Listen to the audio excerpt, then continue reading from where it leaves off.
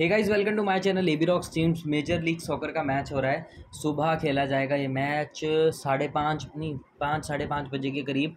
तो ठीक है तो बात करें ये मेरा टेलीग्राम चैनल लिंक है नीचे डिस्क्रिप्शन में। जाओ फटाफट नीचे डिस्क्रिप्शन बॉक्स में। लिंक पर करो क्लिक एंड ज्वाइन हो जाओ। और गाइस हम इस वीडियो के अंदर किसी भी तरह की चीज़ को प्रोत्साहित नहीं कर रही वीडियो बहुत ही ज़्यादा सेफ़ और नॉलेजेबल है।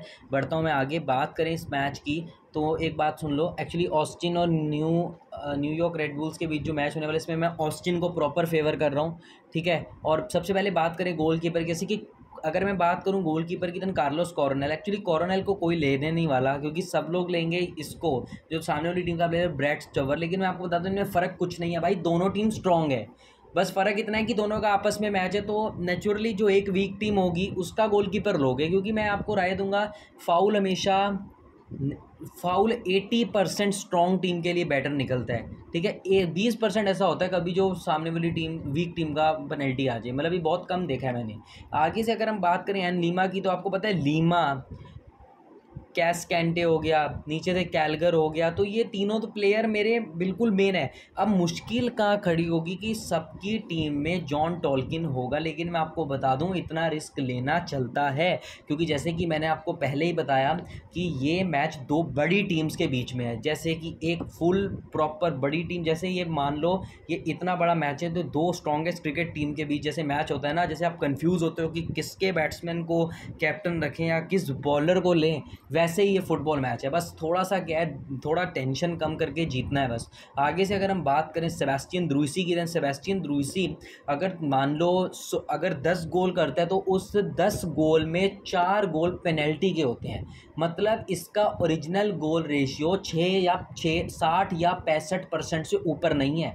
ये प्लेयर चला इसलिए हुआ है, ये सिर्फ़ पेनल्टी के तौर पे बहुत बहुत मज़ेदार प्लेयर है एंड आगे से बात करें नेक्स्ट प्लेयर की देन यहाँ पर है लुकियान तो लुकियान हास जो प्लेयर है, ये एक स्ट्राइकर है, ये मिडफील्डर नहीं है। अगर आपको कोई भी बंदा इसको मिडफील्डिंग के तौर पे लेने को कहता है तो आप उसको जवाब दे सकते हैं कि that it that this is not a midfielder ये एक शुरू से स्ट्राइकर रहा है। और आप आज भी देखेंगे कि अगर लाइनअप अगर आपके पास ओरिजिनल आएँगी देन उसमें इसका एसटी लिखा होगा S T mean striker and आगे से बात करें कैसकैरस की कैसकैरस को वैसे ही ले रहा हूँ मैं। कैसकैरस को मस्ट पिक नहीं है। अगर आप इसको अभी छोड़ के टॉलकिन को लेना चाहते हैं तो मैं आपको एक बार भी मना नहीं कर सकता, क्योंकि ऐसा आप कर सकते हैं। ये रिंग की बात करें अलेक्जेंडर रिंग मेरे को बिल्कुल नहीं पसंद। मैंने पिछले मैच में भी नहीं लिया था इसे, ये सत्रह जुलाई को। और मैं, आप मानेंगे नहीं, मेरे को नुकसान एक पैसे का भी नहीं हुआ, क्योंकि ये प्लेयर उतना बेस्ट है नहीं, ये बहुत कम गोल करता है। अगर यही बंदा स्ट्राइकर बन जाए तो आप खुद देखोगे कितने गोल होते हैं। ना, आगे से बात करें मॉर्गन की तो मॉर्गन एक्चुअली पेनल्टी गोल बहुत किए थे इसने। एक्चुअली ये भी शायद पेनल्टी गोल था, मुझे याद नहीं है।